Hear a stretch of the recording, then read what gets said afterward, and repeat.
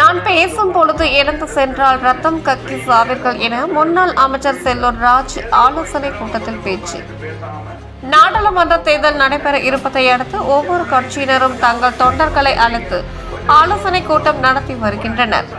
அதன் அடிப்படையில் இன்று மதுரை செல்லூர் பகுதியில் அதிமுகவின் சார்பாக ஆலோசனை கூட்டம் நடைபெற்றது. இதில் முன்னாள் அமைச்சர் செல்லூர் ராஜு மற்றும் மதுரை நாடாளுமன்ற அதிமுக வேட்பாளர் சரவணன் போன்றோர் கலந்து கொண்டனர். ஏராளமான பெண் நிர்வாகிகளும் ஆண் நிர்வாகிகளும் கலந்து கொண்டனர்.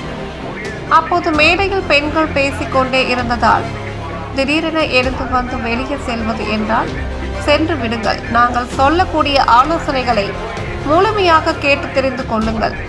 வெளியே செல்லாமல் நான் பேசும் பொழுது நீங்கள் எழுந்து சென்றால் ரத்தம் கக்கி சாவீர்கள் என்று சொல்லி அவரும் சிரித்தார்.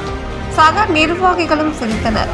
பின்பு பேசிய செல்லூர் ராஜ் கடந்த நாடாளுமன்ற தேர்தலில் மதுரையில் வெற்றி பெற்ற வெங்கடேசன் மக்களை சந்திக்கவே இல்லை. எந்த விதத்திலும் மதுரைக்கு மக்களுக்கு நல்ல திட்டங்களை கொண்டு வரவில்லை. ஆனால் நமது வேட்பாளர் மருத்துவர் சரவணன் சிரித்த முகத்தோடு நன்கு பழகக்கூடியவர் அவர் நாடாளுமன்ற உறுப்பினராக ஆனால் மதுரை மக்களுக்கு பல நன்மைகளை செய்ய காத்திருக்கிறார். அதை காரணத்தினால் அவரை வீடுதோறும் சென்று பெண்கள் ஆகிய நீங்கள் தான் அறிமுகப்படுத்த வேண்டும். அவரை வெற்றி வேட்பாளராக மாற்ற வேண்டும் என கூறினார். சான்றோர் குரல் செய்திகளுக்காக செய்தியாளர் ஆகாஷ் பச்சியப்பனுடன் செய்தி வாசிப்பாளர் வித்யா. செய்திகளை உடனுக்குடன் தெரிந்து கொள்ள சான்றோர் குரல் பக்கத்தை ஃபாலோ செய்து கொள்ளுங்கள்.